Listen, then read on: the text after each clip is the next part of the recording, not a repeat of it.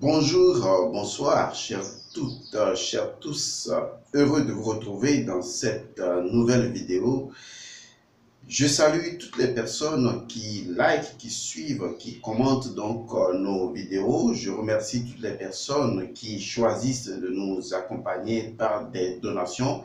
Et je remercie toutes les forces invisibles qui continuent de nous assister, de nous soutenir sur notre chaîne. Il faut reconnaître que euh, la vie, euh, souvent, est pleine de surprises, agréables ou désagréables. Ce qui est important, c'est ce que l'on en fait. Et ce que l'on fait des choses qui se produisent, en fait, c'est ce qui détermine notre expérience de vie. Alors, aujourd'hui, je vais partager avec vous une histoire d'une personne euh, avec qui j'étais en contact il y a, il y a deux jours. Et ensuite, nous allons parler de notre prochain séminaire sur la vérité du sang pour la nouvelle donne que nous allons introduire dans ce séminaire ou par rapport à ce séminaire. Alors, l'une des choses que vous devez savoir, vous qui suivez notre chaîne, c'est de comprendre qu'il y a une différence, un fossé, si vous voulez, entre la religion et la spiritualité. La plupart des personnes pensent que c'est la même chose, mais c'est faux. La religion institutionnalisée, telle que nous la connaissons, ou telle que nous les connaissons, ne font que la promotion de leur propre dogme, de ce que ces religions estiment être leur vérité. La spiritualité, quant à elle, est une quête de l'intériorité. C'est une quête de soi pour soi vers soi. À partir du moment où l'individu rentre dans cette quête de lui-même, qu'il entre à l'intérieur de lui-même, il devient autonome. Il est sur son chemin. Il est sur sa voie et il découvrira sa vérité, qui en réalité l'unifiera à la vérité universelle. Donc la spiritualité est bel et bien différente de la religion. La religion, quant à elle, fera tout pour détenir le pouvoir sur ses fidèles. La spiritualité, quant à elle, ne cherche pas le pouvoir, ni à détenir le pouvoir sur quelqu'un d'autre. La spiritualité cherche à libérer l'individu par l'éveil. Donc, dès que l'individu atteint l'éveil spirituel, l'individu se sent complètement libre. Et pourtant, beaucoup de personnes ne font pas la remarque. Les gens ne voient pas que généralement, toutes les personnes qui pratiquent des religions sont des êtres de dépendance en majorité. Et si on devait créer un pourcentage pour la chose, on se situerait facilement à 99,99% de personnes pratiquant des religions qui sont totalement conditionnées. Conditionnées par l'idée de culpabilité spirituelle ou divine, conditionnées par l'idée d'un péché euh, ancestral ou originel, culpabilisées par le fait que, bon, ils doivent quelque chose à Dieu ou qu'ils ne font pas suffisamment ce que Dieu leur demande de faire, puisque c'est ce qu'on leur, on leur a dit. Et donc, la religion se positionne souvent, si vous êtes véritablement un observateur, comme, euh, disons, un marionnettiste qui joue avec les consciences des gens. Alors que la spiritualité, bien qu'elle soit difficile, et je précise, bien qu'elle soit difficile, elle prend le chemin du possible de la réintégration divine de l'individu par l'individu et pour l'individu et enfin pour l'univers. Je suis un spirituel parce que j'ai fait le chemin de la spiritualité. Entre-temps, j'ai fait la religion, j'ai grandi dans la religion chrétienne et catholique avec mes parents et à un moment donné, j'ai trouvé que en fait, il me manquait quelque chose, que je n'étais pas connecté, je n'étais pas relié à la vie, à l'englobant tout. J'avais juste l'information que quelqu'un était mort pour moi, qu'il m'avait sauvé, encore que ce n'était pas vraiment ce que je voulais. Si on veut être réellement responsable, on assume soi-même ce que l'on fait et non qu'on espère que quelqu'un meure pour soi-même. C'est la raison pour laquelle la religion ne crée que l'irresponsabilité spirituelle au niveau donc de ses membres et des promesses futiles j'ai décidé donc de suivre le chemin de la spiritualité qui, quant à elle, c'est vrai, très difficile. Difficile parce que la spiritualité requiert votre propre transformation. Et vous savez qu'il est difficile à une graine de se transformer parce que il faudrait que la graine perde son point de vue, que la graine perde, disons, sa forme, que la graine fasse une remise en cause d'elle-même et en fait que la graine meure, qu'elle meure de tout ce qu'elle est dans cette existence afin de renaître de quelque chose qui est à l'intérieur d'elle-même et qui constitue sa substance. Il en est de même de nous tous. Et quand vous lisez les paraboles de Jésus, en ce qui concerne les graines, il s'agit toujours de l'homme qui est comme une graine semée, soit dans la bonne terre, soit dans la mauvaise terre. Ou quand on vous parle de, la parabole des talents, il s'agit toujours de l'homme. Il y en a qui arrivent à travailler sur le talent, à multiplier leur talent. Il y en a qui ne le font pas. Le talent étant justement dans la magie pratique notre force intérieure, notre pouvoir intérieur. Et seule la spiritualité est la voie qui nous permet de faire un travail sur soi, par soi et avec soi. Dans la religion, la plupart du temps, on vous dit ce que vous avez à faire et puis bon, le reste, ben, vous vous en remettez à Dieu. Mais est-ce que vous pensiez, honnêtement, hein, vous les Africains, que les colons allaient vous donner des religions pour vous libérer? Puisque, connaissant l'histoire des religions, on se rend compte que le colon avait une idée bien précise dans la tête. C'était donc de conditionner l'esprit des gens afin de pouvoir se positionner et piller les richesses, ce qui n'a pas manqué d'être fait. Et aujourd'hui, c'est la même chose avec le néocolonialisme, puisque ça existe, et ça passe par l'information, par la communication, par des programmes qui sont souvent appelés des programmes d'aide, en réalité des programmes de conditionnement. Parce qu'il faut toujours chercher à conditionner les gens. Tout comme ce que la religion fait, on ne conditionne pas la peur, on ne conditionne pas un programme assez particulier. C'est le programme de l'existence d'un diable qui euh, est toujours en train de rechercher à absorber votre âme. Et pourtant, la religion elle-même, chrétienne ou musulmane, ou les religions qui sont nées euh, postérieurement à l'Égypte antique, ces religions ne pouvaient absolument pas savoir ce qu'est Satan. Parce que ces religions n'ont pas créé elles-mêmes, d'accord, le concept de Satan. Je vous assure, ces religions ne peuvent jamais savoir ce qu'est Satan. Et ces religions n'ont pas créé le concept de Satan parce que ces religions n'ont pas identifié la pensée symbolique dans le symbolisme de la nature pour pouvoir représenter un concept lié à Satan. Et donc ces religions ne font que répéter ce que l'Égypte antique avait déjà dit et la plupart du temps, souvent très maladroitement. Je vous ferai une vidéo sur euh, le visage réel de Satan et cela vous permettra de vous débarrasser de toutes les idées préconçues, de toutes les idées de conditionnement que les gens préfabriquent parce que leur intention est claire, avoir le contrôle. Aujourd'hui, c'est ce que vous ne réalisez pas. Les gens cherchent à avoir le contrôle sur vous. Car, et je l'ai souvent, je l'ai souvent répété, le plus grand commerce qui existe aujourd'hui, mais que vous ne voyez pas, puisque derrière des commerces, il y a des commerces, le plus grand commerce qui existe aujourd'hui, c'est le commerce des âmes. La capacité de manipuler des âmes et d'en acquérir le contrôle et d'en obtenir le pouvoir.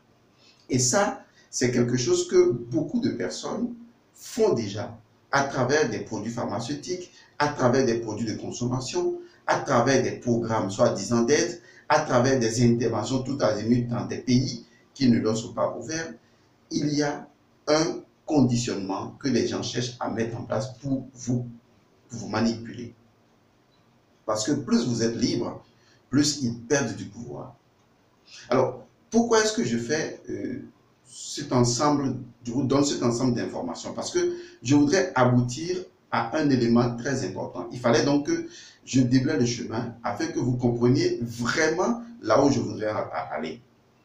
Donc, une fois que vous saisissez cette donne, vous devez réaliser que même dans la spiritualité, soi-disant, il y a des formes de spiritualisme, de conditionnement. Encore que la spiritualité et le spiritualisme sont totalement différents. Et le spiritualisme et le spiritisme sont complètement des choses différentes. Si vous le souhaitez, on fera des émissions là-dessus afin que vous, vous évitiez cet imbroglio-là de vouloir confondre spiritualisme, spiritualité et justement spiritisme. Alors revenons à notre sujet important. Si tant est qu'il y en était, je vous parlais donc d'une expérience ou d'une rencontre que j'ai eue avec une amie il y a, euh, disons, deux jours. Et c'est quand je vais euh, communiquer avec vous que vous allez comprendre ce dont je suis en train de parler. Alors, de quoi il s'était agi? Et donc, cette amie, euh, disons, m'informait qu'elle devait voyager et que, en réalité, les choses ne marchaient plus pour elle. Et je lui ai dit, ça fait très longtemps qu'on se connaît, et je t'avais déjà dit qu'il fallait régler ton problème. Et elle me, répond en disant, oui, c'est toujours mes esprits qui me dérangent. Et mes esprits font que je n'arrive jamais à rester avec un homme. Un homme m'a aujourd'hui, demain, il y a toujours des, des, choses qui se produisent, des choses souvent incompréhensibles pour moi, comme si des esprits cherchent à me piéger. J'ai tout fait et c'est pareil. Et donc, tout fait et c'est pareil, dans le développement, on sent, on comprend que, comme on le chante à beaucoup de personnes qui ont des problèmes avec des entités, voilà ce qu'on leur chante. Et souvent, ce sont des adeptes du vaudou. Comprenez bien que là, il s'agit de religion vaudou ou du vaudouisme.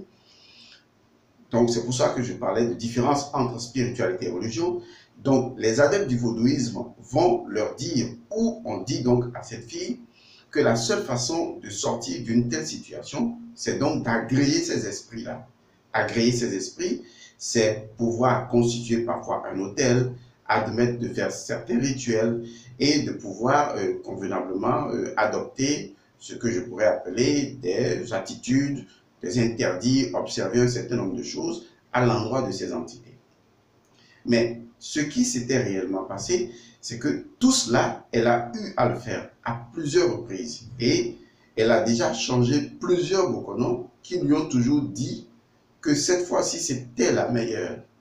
Et qu'il fallait justement entretenir, euh, mettez ce mot en griffe, entretenir donc ces esprits-là, afin que ces esprits ne perturbent plus sa vie. Car ces esprits perturbent même son travail, son travail n'avance plus, ses activités sont bloquées et chaque fois elle fait des rituels, les choses semblent aller et quelques temps après, eh bien, ça recommence et elle doit renouveler encore et encore les rituels. Et c'est là que je lui ai expliqué que justement, voilà un autre piège issu d'un mensonge aussi colossal que la plupart des personnes veulent bien y croire. Vous savez, les gens aiment qu'on leur mente.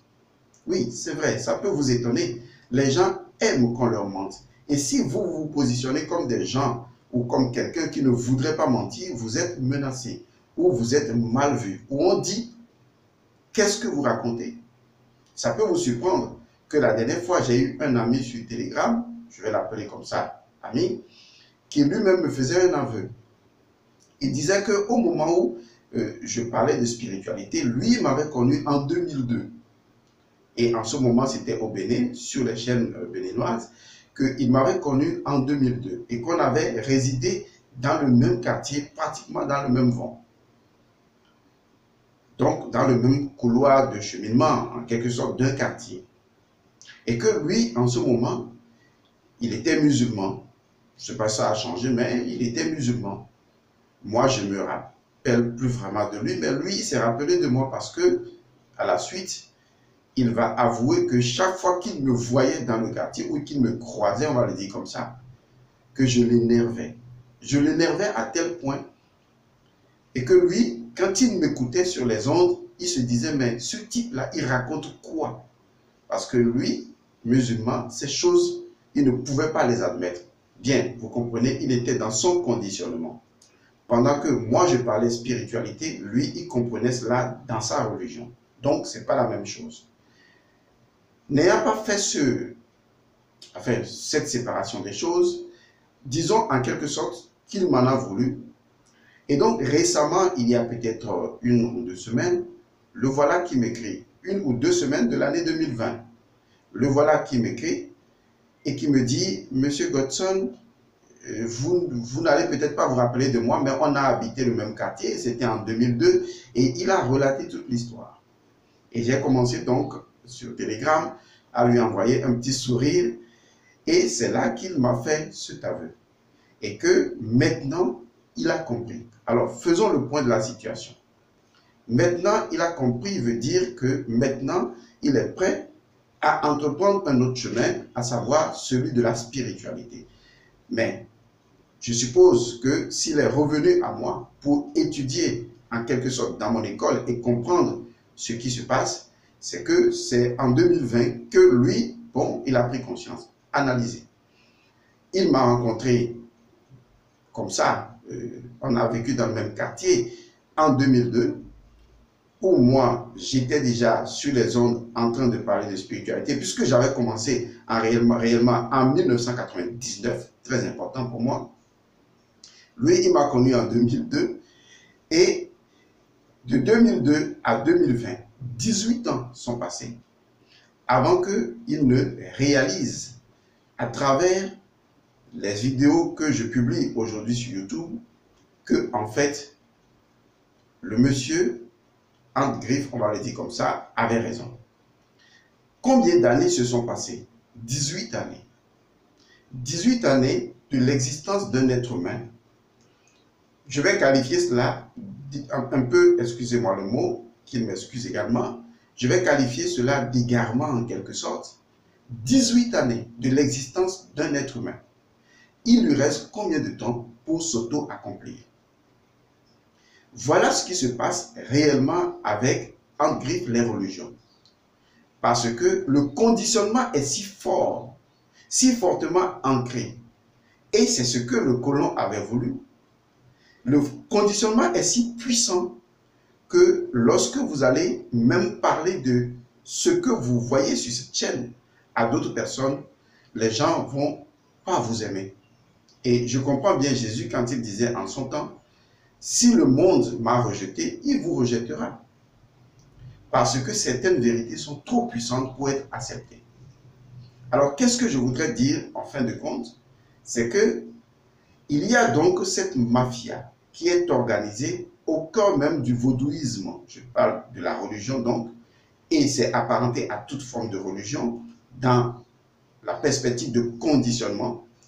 C'est de faire croire aux gens que lorsque vous avez des problèmes avec les esprits, quels que soient ces esprits-là, parce qu'il y en a beaucoup, et que vous allez consulter et qu'on vous dit des fois que vous êtes né avec, que ça fait partie de vous. On ne vous explique même pas comment vous êtes né avec. On vous dit juste que vous êtes né avec, ça fait partie de votre famille. Vous devez l'entretenir. Je vais vous dire une chose et je vais être très clair avec vous. N'en déplaise à ceux à qui cela pourrait déplaire. C'est le plus gros mensonge qui ait jamais été formaté. Et c'est le plus gros foutage de gueule qui existe on se fout de votre gueule. Vous faire croire que vous avez des problèmes d'entité. Certes, c'est possible, puisque dans votre sang, si vous rentrez à l'intérieur de votre sang, et c'est ce que nous allons voir dans le séminaire sur la vérité du sang, on verra vos ancêtres, on verra également les actes qu'ils ont posés, et donc vous avez des contrats entitaires. Mais est-ce que cela vous oblige aujourd'hui à continuer d'entretenir des formes d'entité.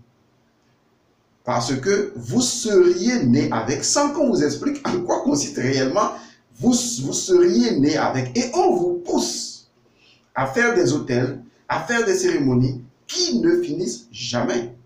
Parce que même dans le vaudouisme, il existe une forme de conditionnement par la force obscure et c'est toujours introduit dans les rituels de telle sorte que aussi loin que vous irez, vous reviendrez toujours.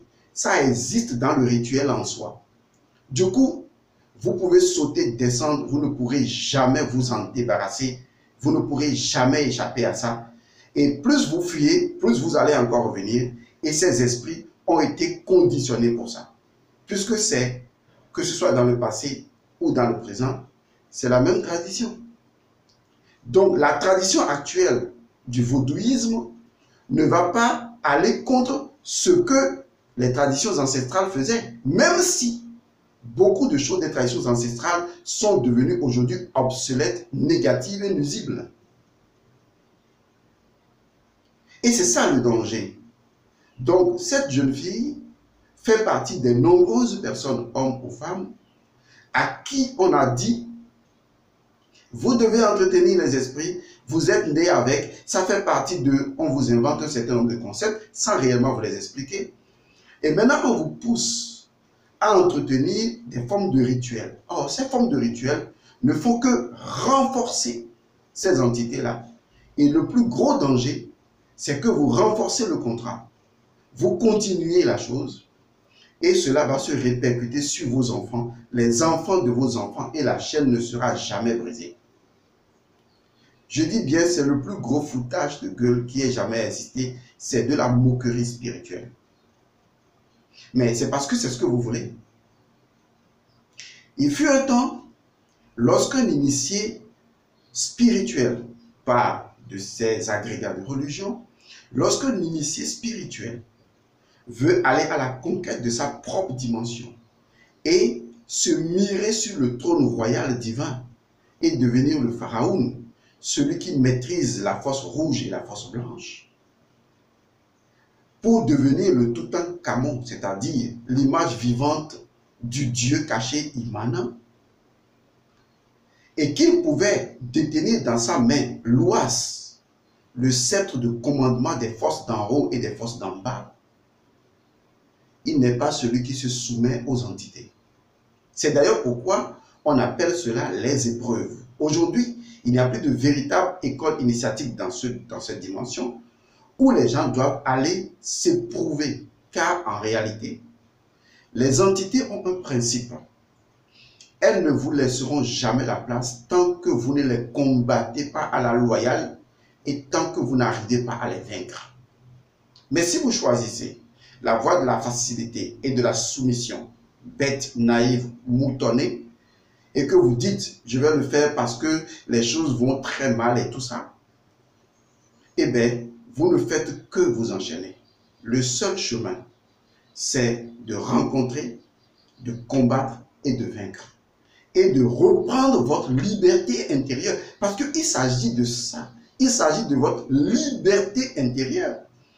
Il ne s'agit pas de votre maison à l'intérieur de laquelle des entités dont la nature est toujours inférieure à vous, qui viennent faire la loi à l'intérieur de votre conscience. Il s'agit de les affronter. Mais combien de personnes parmi vous sont prêtes à affronter ces entités? Pratiquement personne. Parce que vous croyez déjà qu'elles sont plus puissantes que vous, alors que c'est faux. Une entité puissante n'a pas besoin de vous. Mais si elle a besoin de vous, elle n'est pas plus puissante que ça. C'est parce que vous lui offrez l'opportunité de l'être.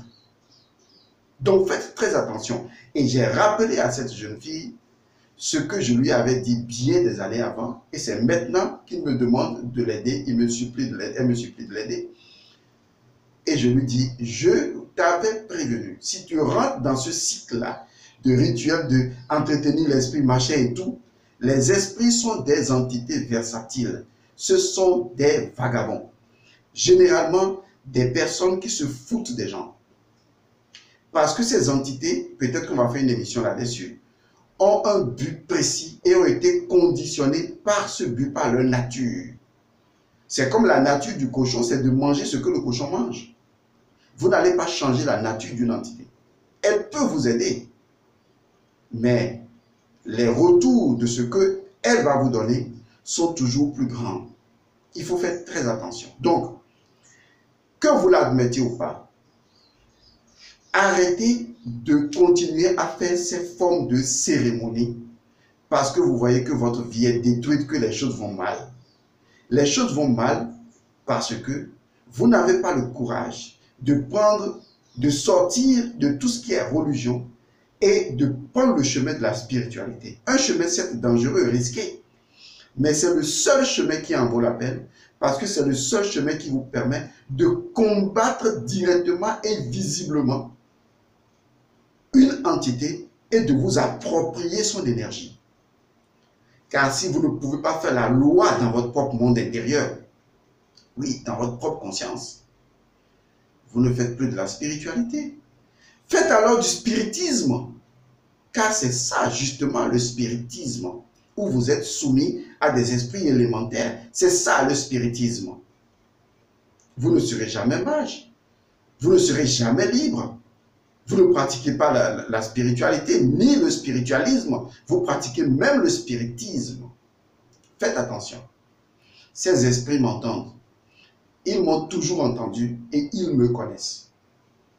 Parce que je les ai déjà transcendés. J'ai déjà mené mon combat et je suis passé outre. C'est pourquoi je vous disais tantôt que dans une autre formation, nous allons détecter votre vaudou, mais que une fois que votre vaudou est détecté, vous devez le combattre pour pouvoir prendre le dessus. Les entités, ce sont des individus à la limite en griffe voyous, plein dans le monde astral et dans le monde pas astral, qui ont l'habitude de se foutre de la gueule des gens. Soit vous êtes la lumière qui leur impose la volonté, soit vous êtes l'esclave docile, le moutonné, qui subit et qui les supplie et qui veut, parce que vous ne possédez pas le bâton de commandement qui permet d'ordonner les forces d'en bas et les forces d'en haut. Libre à vous de faire votre chemin, mais j'ai voulu vous prévenir que c'est du foutage de gueule tout simplement. Il faut arrêter de faire ces conneries-là. Les gens vous diront non, ils racontent n'importe quoi, nos ancêtres ont toujours fait ça. Mais qui vous explique alors ce que ça veut dire Puisque aujourd'hui, je dis à n'importe qui de la tradition de se positionner et d'expliquer. Mais on ne vous expliquera pas. On vous dira juste qu'il faut le faire. Mais qu'est-ce qui se passe même pour que l'entité vous agresse? On ne vous le dira pas. La science de nos ancêtres est d'abord science. C'est explicable. Mais ils ont perdu ce qui permet de l'expliquer. Et ça, nous l'avons. Je vous informe pour que vous preniez garde et que vous fassiez attention. Mais je ne vous impose rien. Vous êtes libre. Mais il est de ma responsabilité de vous montrer le choix que vous faites, les conséquences qui en découleront. Soyez-en sûrs. Les esprits demeurent en vous de réincarnation en réincarnation. Et vous serez obligé d'assumer encore et encore et d'être le dominé. Posez-vous des questions. Pourquoi y a-t-il des épreuves initiatiques? C'est pour vous repositionner sur le trône de votre conscience. Car en fin de compte, vous êtes le Dieu qui s'était perdu et qui doit enfin se retrouver. Et non le mouton qui doit subir les affres d'entités voyous qui quelque part cherchent toujours à vous déstabiliser. À vous de voir. Pour finir, la deuxième partie de notre euh, séance de rencontre aujourd'hui tourne autour donc de notre séminaire La vérité du son. Beaucoup de personnes m'ont contacté. Ces personnes voulant également participer à ces séminaires, il faut dire qu'aujourd'hui, nous avons quand même un bon nombre de personnes dans le groupe. Les autres personnes peuvent toujours continuer à s'inscrire pour le séminaire La vérité du son. Le message que je porte aujourd'hui à votre attention et qui est, qui est fort simple, c'est que nous allons décaler euh, le séminaire et le faire le 7 euh, du mois. Actuellement, donc, nous sommes euh, dans le mois, je crois dans le mois de, de, mai. Nous allons donc le faire le 7 du mois prochain.